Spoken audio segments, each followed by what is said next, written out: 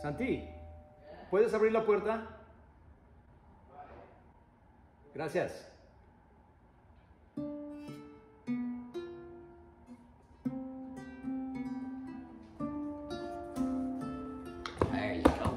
Gracias, Santi. Eso.